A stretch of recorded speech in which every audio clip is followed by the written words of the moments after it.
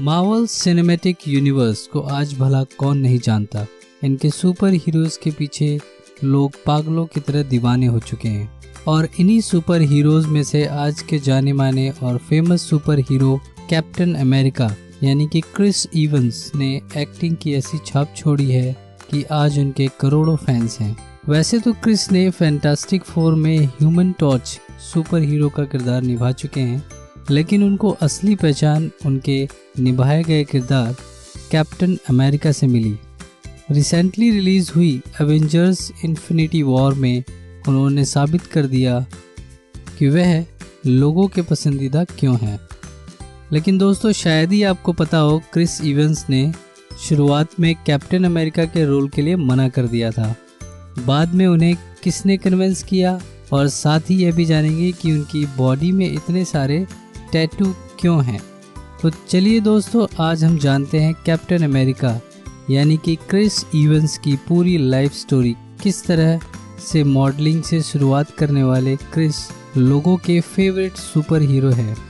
तो चलिए दोस्तों, आज हम जानते हैं कैप्टन अमेरिका यानी कि क्रिस इवेंस की लाइफ स्टोरी, किस तरह से उन्होंने मॉडलिंग से शुरुआत की और आज वो फेवरेट सुपर हीरो कैसे बने। तो दोस्तों, इस कहानी की शुरुआत होती है 13 जून 1981 से, जब यूनाइटेड स्टेट के बोस्टन में क्रिस्टोफर रॉबर्ट इवंस का जन्म हुआ। उनके पिता का नाम जी रॉबर्ट इवंस थ्री था और उनकी माँ का नाम लीजा इवंस और साथ ही उनकी फैमिली में दो बहनें और एक भाई भी हैं, जिनमें बहनों का नाम कार्ली और साना है और भाई का नाम स्कूट है और उनकी परवरिश शटबैरी में हुई।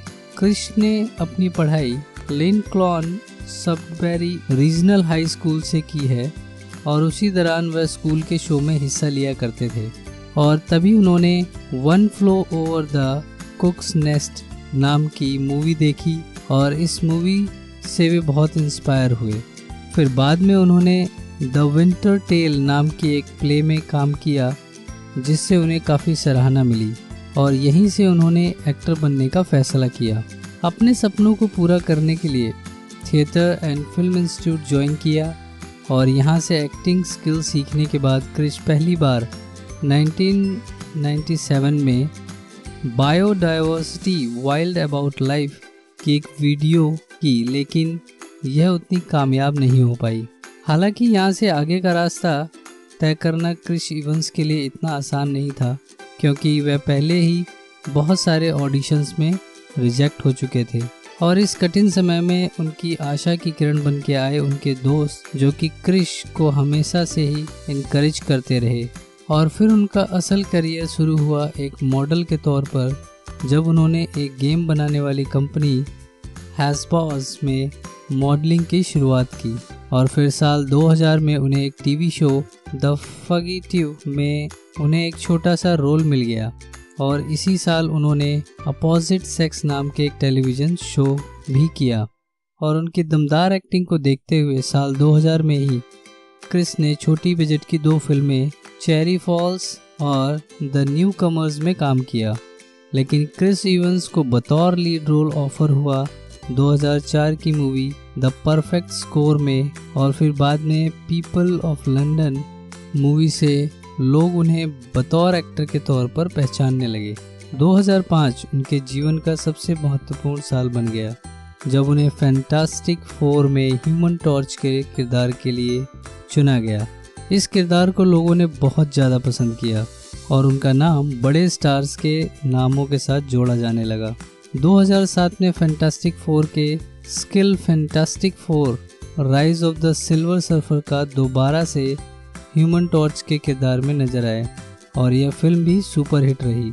उनकी इस परफॉर्मेंस को देखते हुए मार्बल फ्रेंचाइजी ने उन्हें Captain America the First Avenger के रोल के लिए ऑफ़र किया, लेकिन शुरुआत में उन्होंने इस रोल के लिए मना कर दिया, क्योंकि वह डर रहे थे, यह लोगों को पसंद नहीं आएगा।